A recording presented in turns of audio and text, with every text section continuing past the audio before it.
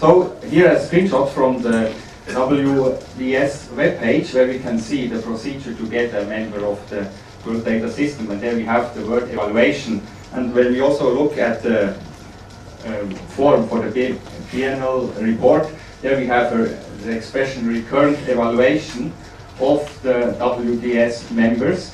So and with that we, we uh, ask ourselves um, what kind of a regular evaluation might be for a member of WDS or in general uh, could be useful. And some questions that we I'm asking or we are asking from the World Glacier Monitoring Service is how to do such an evaluation, what are the benefits of such an evaluation, what are the competencies or responsibilities, how shall it then be reported, and what I would like to give you in the following is experience from our side, and also to raise the question if it's a proven example for uh, the world data system. So I don't say it's a proven example, and I don't want to say that. I, so to make clear, it's a question mark. It's just an open question. So to make it clear, we are uh, talking about glaciers, and for that here a short uh, slide that shows glacier change in the Alps. To the left, the Great Aletsch Glacier, the largest glacier in the Alps and to the right another glacier also quite big and we see the prominent uh, glacier loss and that's very important because everyone can see that and uh, that's also one of the uh, key issues that glaciers are recognized as key indicators of climate change. So, and to monitor that, we have the Global Terrestrial Network for Glaciers. Now, I don't go into detail on that because I have another talk tomorrow where I go in that, but and, and here I just have to make, uh, give some explanation of the bodies that I will treat in the following. So important to say that the GTNG exists of three operational bodies, which are the Global Land Ice Measurement from Space Initiative, working with uh, satellite imagery to get glacier outlines.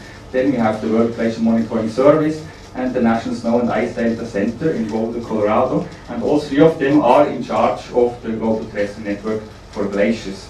We have the steering committee and it, to have a closer look, it exists of an advisory board where we have data users and uh, from different fields, from the remote sensing uh, side, but also from in situ measurements, and also then from the from the international uh, bodies. And then the executive board, which consists then of the members of the, oper the operational team of these bodies. In case of the World Glacier Monitoring Service, we have a small team at the University of Zurich, where we also have some dedicated funding for these activities. So to uh, just to give a short overview of the data sets where, that are in the uh, World Monitoring Service, we have annual calls for data where we actively compile the glacier data through our national correspondents and the principal investigators. And then there is a one-year retention period.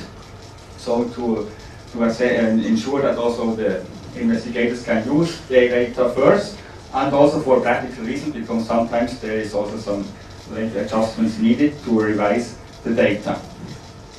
Then we have uh, data on glacial length changes, aerial changes, thickness and mass changes, and then some additional glacier information uh, events like special events like uh, outbursts, floods and so on, and all these are stored in the fluctuations of glaciers database.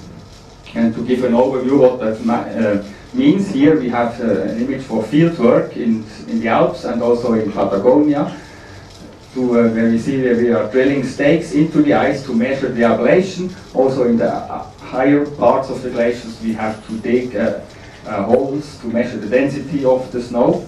That's the in situ glaciological method, and then we have the geodetic method using satellite imagery to assess volume changes of the glaciers.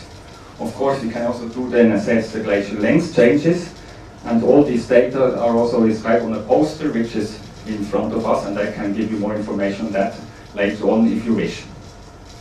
So the backbone is the Worldwide Scientific Collaboration Network, consisting of the uh, correspond national correspondents and of course all the principal investigators. So the World Glacier Monitoring Service is not the office in Zurich, but it's actually all uh, data producers uh, working in all parts of the world that form the World Glacier Monitoring Service. And we had now an evaluation of the World Glacier Monitoring Service and the Global Terrestrial Network for Glaciers through the, the GTNG advisory board. And they state that every eight years they evaluate the work, and this consists then of uh, several uh, parts, several reports that I will show you now in detail. First, we have a self-evaluation report by the operational bodies, so the three uh, executives, the three um, like WGMS, NSIDC, and GLIMS. We have then, uh, it's not important to read here the details, just to say we have three uh, for every organization, one chapter, and then an overall chapter summarizing uh, the uh, whole GTNG. So, because it's important to have that as a whole. As some examples from the WGMS, uh, we also made an, uh, um, a questionnaire to all our data users and principal investigators. That's an example for one of these questions. How do you evaluate our data and service products in general, for instance? Another was, for instance, how do uh, evaluate the access to the data and so on. And what we can here see, so the color, that's, as we say, that's a light green, so that's not a poor, yeah, so that is okay, so to make that clear. So here we are a light green and then a bit darker green, which is very good. So, uh, but we also see, yeah, that's uh, quite positive to say, but also it's not, a, well, it's good, but not too good, so there is still some potential for improvement. And that uh, we also then state in the evaluation report, so there are clear uh, positive um, things to say, like the active compilation of the glacier data. Also important, we have digital and printed products, which is important to give also visibility to our data producers if they have uh, the glacier Easmina photograph in the bulletin of the WGMS, that's also important for them. Then key challenges are, as I mentioned, uh, uh, geodetic methods, for instance, we have very few, only few hundred in, uh, in situ observations, and in light of, in view of the 200,000 glaciers we have worldwide, we have to see how are they representative and so on. And of course, we, it's evident that the geodetic method, when we can assess volume changes for a whole mountain range, has a great potential that we have to use uh, stronger in the future. Essentially hereby is of course to have uh, secured uh, uh, funding, which we have, but we also have to use the existing resources more efficiently to make the best of it and also to find additional money. For instance, we also recently started to do capacity building uh, measurements, um, like for instance, organization of uh, summer schools to train uh, people in the field, but that is then through external funding, so we have to look for additional funding for that. So other important things, uh, I already mentioned the active compilation of glacier changes, then also to go through literature to uh, enrich the, the data we have and also to uh, improve the data quality we have. And then also very important, the easy access to the glacier data, like to improve our metadata browser, but also recently we started the Glacier app for mobile devices where everyone then can very easily access these glacier data. Finally, also the reporting, we were thinking of a merging of our two data products in our, in one new product uh, to save here some uh, resources. Then second, we had um, the uh, site visit in, in, Boulder, where the advisory board and executive board uh, come together to discuss the issue. And following that, we have then the evaluation report by the advisory board. This also has the same structure for every three operational bodies. And there, what was interesting is that uh, they also there was a clear vision uh, stated that the GTNG as a whole, because that indeed uh, has so far been has been a thinking of the three operational bodies by itself and not uh, as a as a whole. And also, what they uh, uh, several technical points like to improve the user friendliness, for instance, or the creation of a GTNG metadata browser where all the data can be accessed through one one-stop portal, as, as mentioned here. There was also a feedback on the self-evaluation report that uh, I don't want to go in detail, but uh, finish with the last slide.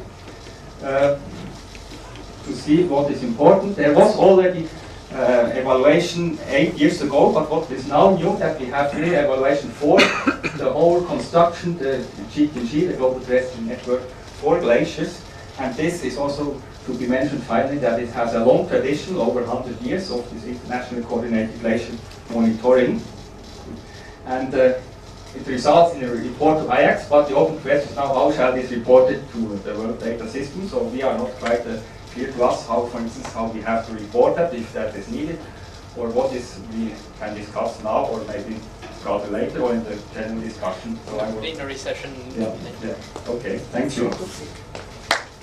I've done a lot of those reviews. They are a lot of work. This is very work heavy.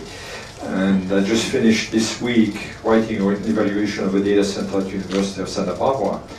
And one has to be very careful of the words one puts in the evaluation because it gets read by the people who give the money, of course. And uh, uh, it is very easy to use a word that means something in one country, means something else in a different country and have a very unfortunate outcome.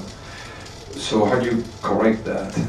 Well, to say it's still ongoing, all these uh, reports are finished, but the final, we have now received um, evaluation report and we wrote, was can add that, uh, answer uh, letter on the evaluation report and now it's missing still the report as a whole as it will be submitted to IACS, or they will receive it in these days and of course we don't know yet the feedback but we cannot change it. We could uh, deliver a list of uh, errors, like uh, technical errors, yeah? but if, if there is a word there in, there it's in. Yeah? But of course we have the site visit at the NSIDC where problems could have been discussed before. So the idea is also because of course the idea is clearly that the advisory board is uh, is together with the executive board and takes in one line and uh, to strengthen the whole com community. Yeah. And that would be a, a thing that we discuss at the site visit, for instance. But it's of course a critical point. Yeah.